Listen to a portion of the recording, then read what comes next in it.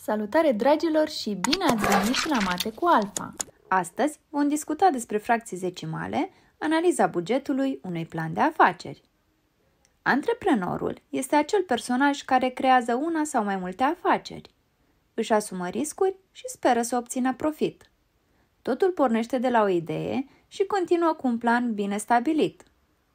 Zian și Alfa realizează decorațiuni din materiale reciclabile – Fiind deosebit de talentați, decorațiunile create de ei sunt foarte apreciate de cei din jur, motiv pentru care ei se gândesc să creeze un magazin online prin intermediul căruia să-și vândă produsele. Ei știu că trebuie să înceapă cu un plan de afaceri bine gândit. Succesul lor depinde în mare măsură de corectitudinea calculelor aferente realizării bugetului de investiții și a previziunilor financiare țin cont de faptul că au nevoie de o pagină web, de materiale, de consumabile, de etichete, de servicii de contabilitate, servicii de marketing și alte cheltuieli neprevăzute.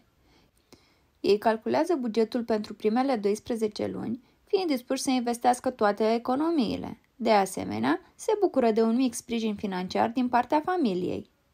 Cei doi antreprenori realizează proiecția veniturilor obținute în primul an – Spre exemplu, pentru brădulețul confecționat din conuri, vândut la prețul de 75,5 lei, ei estimează o cantitate lunară de 10 bucăți și se obține astfel un venit anual de 10 ori 12 ori 75,5 egal cu 9060 lei.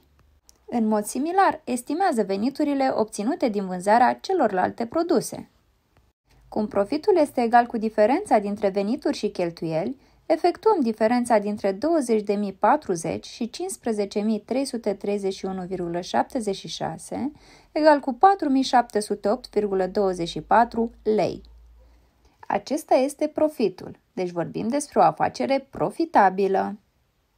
Continuăm estimarea veniturilor pentru cel de-al doilea an.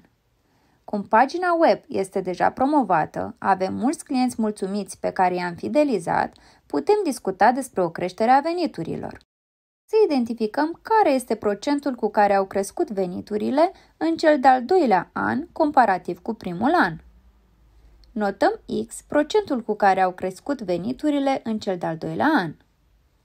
La venitul obținut în primul an, 20.040 lei, adăugăm procentul X% din aceeași sumă și ajungem la venitul obținut în cel de-al doilea an, 24.048 lei.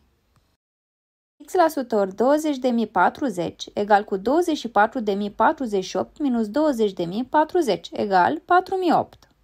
X% egal cu X supra 100 egal cu 4.008 supra 20.040 egal cu 0,2. Deci X egal cu 100 ori 0,2 egal 20.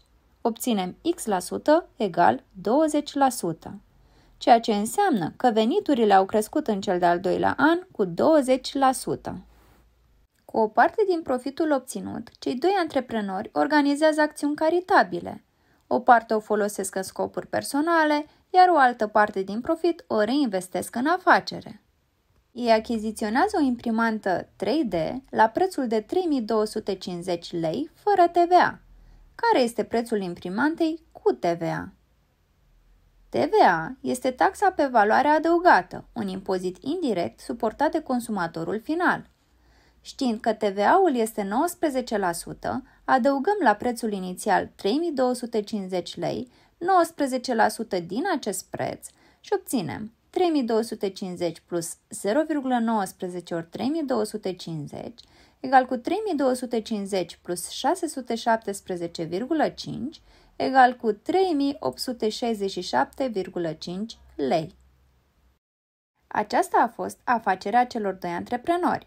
Realizați și voi un plan pentru propria afacere și analizați profitabilitatea acesteia.